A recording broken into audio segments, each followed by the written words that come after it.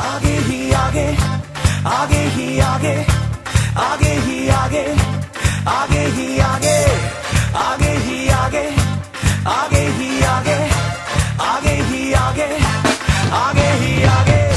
जयपुर जमात आसिफ मस्जिद टीम। अस्सलाम वालेकुम दी मेमन टीवी के साथ मैं हूँ अली गोडेल। फेल्डरबी एरिया में इस वक्त मौजूद हूँ हुसैनाबाद ब्लॉक तीन में जहाँ पे जैतपुर मेमन एसोसिएशन के तहत खाली जमा की जा रही है जो कि काफ़ी कोविड के बाद तीन साल का गैप था। हेड ऑफ़िस का भी हमने विज़िट किया इस वक्त मैं ब्रांच ऑफ़िस में मौजूद हूँ और यहाँ के इंचार्ज अमानुल्लाह मोटन साहब भी मेरे साथ मौजूद है। अमान भाई से बात करेंगे। अमान भाई काफ़ी गैप के बाद मैं देख रहा हूँ कि वॉल्टियर्स को आपने इकट्ठा किया जमात की एक्टिविटी के लिए। तो क्या कहेंगे आज खाल कलेक्शन के हवाले से? बसमीम पहले तो मैं सबको पूरी बिरादरी को ईद की मुबारकबाद देता हूँ। इसके अलावा वॉल्टियर के बारे में तो ये हकीकत में ये कुर्बानी का जो इवेंट है, जो खाले हम जमा करते हैं तो ये हो, जो है वो सारा वॉल्टियर की वजह से होता है और इसमें हमारे वॉल्टियर बढ़ चढ़ के हिस्सा लेते हैं और काम भी करते हैं डोर टू डोर जाते हैं वहाँ से खाल कलेक्ट करते हैं जैसे ही कॉल में मौसू होती है तो फ़ौर रिस्पॉन्स हमारे वॉल्टियर देते हैं और इन शाला मतलब- विज़िट भी कराएँगे? हाँ, आप आए, मैं आपको दिखाता हूँ। आपके अमन में मुझे वहाँ से दिखाई दे रहा है कि आपके वॉल्टियर्स भी माशाल्लाह आ रहे थे कि नाजरीन, ये माशाल्लाह जज्बा हमारे नौजवानों का ईद के दिन भी तीनों दिन ये अपनी जमात को सर्व करते हैं, खदमत के लिए आगे अपने आप को पेश करते हैं। तो ये माशाल्लाह हमारे वॉल्टियर्स यहाँ मौजूद हैं। और वॉल्टियर्स के साथ मैं देख रहा हूँ कि एक बुज़ुर्ग माशाल्लाह मैं देखता हूँ, एक अरसा दराज से यहाँ काम कर रहे हैं। इनसे भी बात करेंगे इंशाल्लाह। और हमारे नौजवान भी हमारे साथ मौजूद है। इनसे भी बात करेंगे। मकसद आपको जज्बा दिखाना है हमारे नौजवानों का। आइए, हम इनसे बात भी करते हैं। पहले दिखाएँ सर किस तरह से खाल कलेक्शन की जाती है? और ये एक पॉइंट बना हुआ है सेंटर रहमानी चौक फेल्डरबी एरिया में, जहाँ पे ये ब्रांच ऑफ़िस है। पहले हम, हमारे बुज़ुर्ग से बात करेंगे कि उम्र के इस एक जो हिस्से में भी अल्हम्दुलिल्लाह देखें इनके माशाल्लाह मैं देख रहा हूँ पूरे खून में लथपथ हैं। अस्सलाम वालेकुम वालेकुम क्या नाम है आपका? मेरा नाम मोहम्मद मुनाफ है। माशाल्लाह ये जज्बा आपको कितने साल से आप ये कर रहे हैं काम? मेरे को ये जज्बा गरीबों के लिए मेरे लिए नहीं है। क्या बात है कितने साल हो गए आपको? मेरे को 20-25 साल हो गए लेकिन मैं वही हालत में अभी भी हूँ जो पहले 25 साल पहले था वही हालत में अभी भी हूँ। ये सारी दुआएँ मेरे को गरीबों की है। बच्चे की स्कूल के अंदर जो बच्चों जो पढ़ रहे स्कूल के अंदर इनकी है जो दवा खाने के अंदर अस्पताल के अंदर इनको हेल्प मिलती है इनकी है। और दूसरे नंबर में जो हमारे बड़े जमात के लीडर है समझ गए? उनकी हमारे को ज़्यादा दुआ होती है क्योंकि हम इनके हिसाब से हम ये काम कर रहे हैं। माशाल्लाह मुनाफ भाई नौजवानों को क्या मैसेज देंगे? वॉल्टियर्स को जो जमात की तरफ़ अब तक नहीं आए इन नौजवानों को आगे आना चाहिए इस नेकी के काम में। भाई देखो ये जो काम आज का जो चल रहा है, तीन दिन का, कुर्बानी का, नौजवानों को ये समझना चाहिए, आज के दौर के अंदर कि हम एक खाल कुर्बानी की हम उठा के एक सेंटर पे डालेंगे तो हमारे कितने गरीबों को इसका हेल्प मिलता है। समझ गए? वो नौजवानों को नहीं देखो, ना बूढ़ों को देखो। उसके, इसका जज्बात देखो कि ये सुबह को पाँच बजे उठ के यहाँ पे आ जाए और अपना ये जो हमदर्दी है, ये जज्बात है, ये जोश है, ये जनून है, आज की तारीख में इसको दिखाना ज़रूरी है। जैतपुर जमात जिंदाबाद मेमन टीवी जिंदाबाद। माशाल्लाह नाजिर, मुझे बहुत खुशी हुई इन बुज़ुर्ग से बात करके, माशाल्लाह। और मैं मुबारकबाद दूँगा इनको, और मैं दुआ करूँगा, अल्लाह पाक इनको हिम्मत दे। ये नौजवानों के लिए मोटिवेशन है। जितने भी हमारी यूथ है, इनको फॉलो करें, नेकी के काम में आगे बढ़ें। तो इंशाल्लाह, इनका कहना यही है कि जब मैं ये काम करता हूँ तो मुझे बड़ी तसली होती है। और फिर मेरे साथ अल्लाह की मदद होती है, क्योंकि जो अल्लाह की मखलूक के लिए सोचता है तो उसके लिए फिर अल्लाह पाक इसबाब बनाता है। आइए, आगे भी इंशाल्लाह हम बात करेंगे, अमानुल्लाह मोटन साहब से कहेंगे कि हमें यहाँ ब्रांच ऑफ़िस का विज़िट भी करें और इंशाल्लाह आगे भी हम मजीद वॉल्टियर से बात करेंगे। तो अमानुल्लाह मोटन साहब से रिक्वेस्ट करूँगा, अमान भाई, मुझे आप यहाँ पर विज़िट भी कराएँ, ताकि हमारे कम्युनिटी के लोगों को, स्पेशली ओवरसीज को पता चले कि ये हमारे नौजवानों का, और आज तो मैंने देखा बुज़ुर्ग भी आपके साथ मौजूद है। आप खुद भी बुज़ुर्ग हैं, लेकिन माशाल्लाह इस वक्त भी यहाँ मौजूद हैं।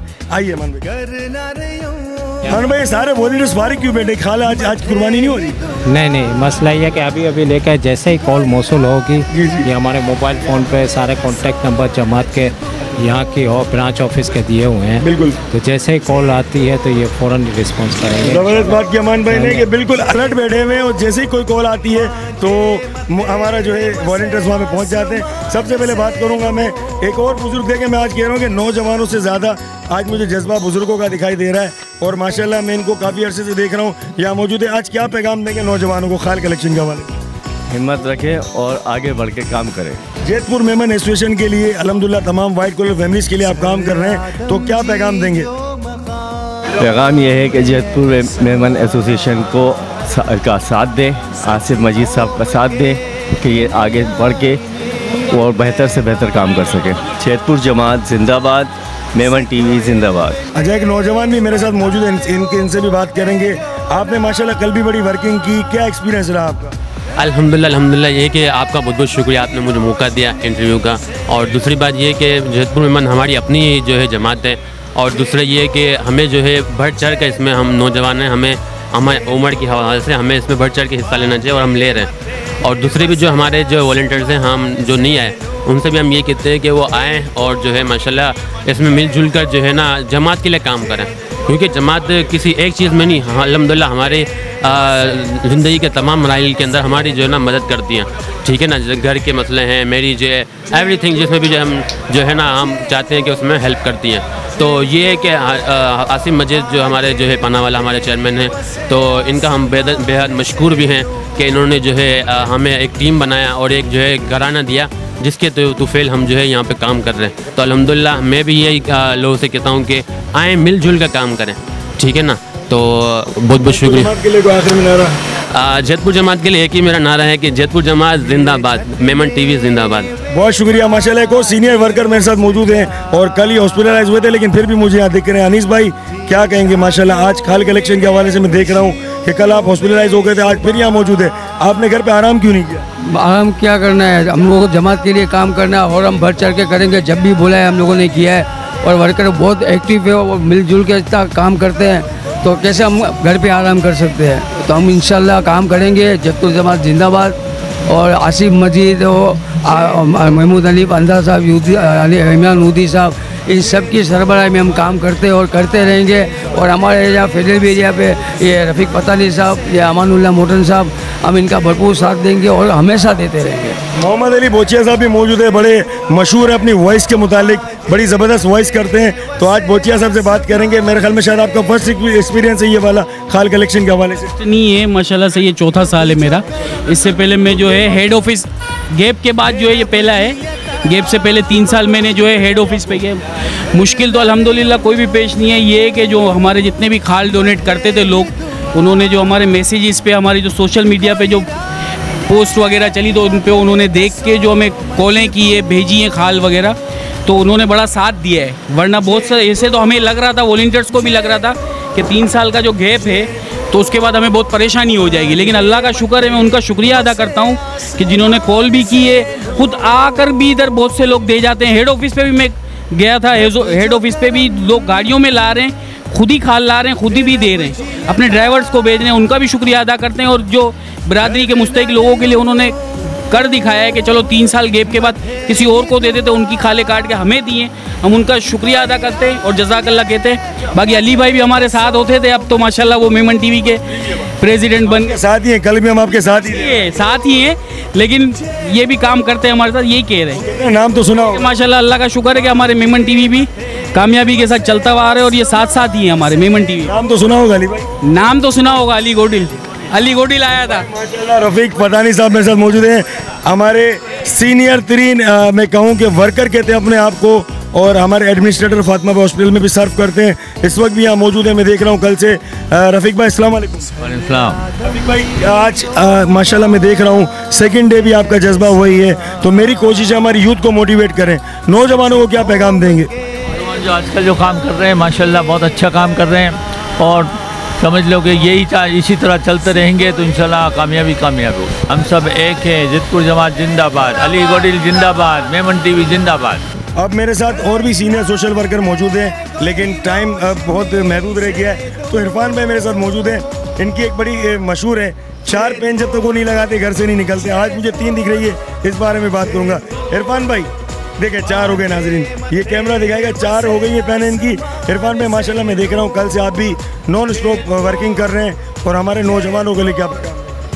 माशाल्लाह जतपुर जमात बहुत अच्छा काम कर रही है। जब से आसिफ भाई की क़्यादत आई है, जब से माशाल्लाह बहुत अच्छा काम कर रही है और दिन ब दिन तरक्की कर रही है। हर मामला में, एजुकेशन के मामला में, खालों के मामला में मेडिकल के मामला में, शादी मदद के मामला में, मासिक खर्ची के मामला में वजीफ़े के मामला में माशाल्लाह बहुत अच्छी तरक्की कर रही है अल्लाह पाक इनको कामयाब करें।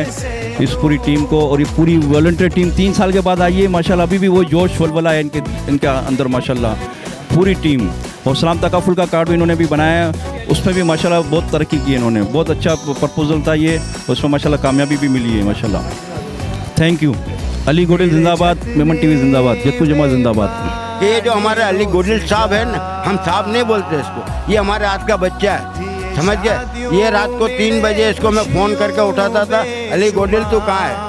समझ गए वो टाइम आजकल तो ये बहुत बड़ा बड़ा आदमी बन गया अल्लाह इसको और तरक्की दे हुए समझ गए लेकिन अभी हम हम इसको देखते हैं ना तो हमारे को वो दिन याद आते हैं कि यार, एक टाइम में अली गोडिल को मैं फ़ोन करता था। आज मेरे को तीन साल के बाद, चार साल के बाद ये मेरे को मिला है। समझे ना?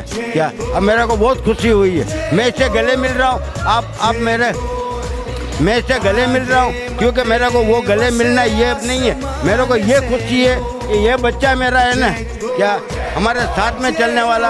आज अल्लाह ताला ने इसको इतनी तरक्की दे दी है और अल्लाह ताला इसको और तरक्की दे। समझ गए? कि आज छोटी छोटी, जो छोटी टीवी चला रहा है ना, कल अल्लाह ताला इसको बहुत बड़ी टीवी का मालिक बना। समझ गए? और इस वक्त नाजरीन, एक छोटे से मुझे वॉलेंटियर नज़र आ रहे हैं। फ़र्स्ट टाइम जयपुर जमात की हिस्ट्री में मैं इनसे बात करूँगा। अस्सलाम वालेकुम वालेकुम कितनी एज है आपकी? चौदह साल। चौदह साल ये आप फ़र्स्ट टाइम आए? हाँ जी फ़र्स्ट टाइम और माशाल्लाह कैसा एक्सपीरियंस रहा आज आपका? बहुत अच्छा लग रहा है कि जमात की हाथ में क्या पहले तो ये बताएँ। ये बुक। है बुक भाई बुक दिखाएँ और आपने कोई स्लिप वगैरह भी काटी है? ये हाँ ये काटी है माशाल्लाह तो बाइक पर गए थे किसी के साथ अब जी जी बाइक पर गए क्या बात है भाई माशाल्लाह देखिए ये जज्बा होता है। ये छोटा सा हमारा जो है बिल्कुल नन्ना सा वॉलेंटियर है। और ये जितपुर जमात का जज्बा है। क्या पैगाम दोगे अपने दोस्तों को? बस यही पैगाम दूँगा कि जयपुर जमात की खिदमत करें और उनका साथ दें और आगे बढ़कर लोगों की मतलब हम जयपुर जमात जैसे खिदमत करती है ऐसे अपना हिस्सा मिलाएँ। हाँ, और अगले साल मैं अपने दोस्तों को भी इंशाल्लाह कहूँगा कि आके खा खाले जमा करें क्या बात है? देखिए भाई खुद भी आए और अपने दोस्तों को भी पैगाम देंगे। तो हमारे तमाम नौजवानों को चाहिए कोई भी कम्युनिटी हमारी तमाम मेमन जमातें हमारी अपनी है। तमाम अपनी अपनी कम्युनिटी के लिए काम करें अपना थोड़ा सा वक्त करें। मेमन टीवी देखते हैं आप? जी जी बिल्कुल देखता हूँ। क्या कहेंगे मेमन टीवी बस बहुत ही अच्छा एक चैनल है कि मेमन जो है जितने भी हर चीज़ दिखाते हैं और जो है वो बहुत अच्छा लगता है मेमन टीवी देखकर। माशाल्लाह भाई ये छोटा सा नौजवान हमारा मैं कहूँगा कि अभी इसकी एज मेरे ख्याल में बारह तेरह साल इसकी एज होगी लेकिन माशाल्लाह बहुत ही ज़बरदस्त टैलेंटेड बच्चा है और दुआ इसी तरह जज्बा इसका आगे भी कन्वर्ट हो अपने दोस्तों को भी इंशाल्लाह इसने कहा में लाऊँगा।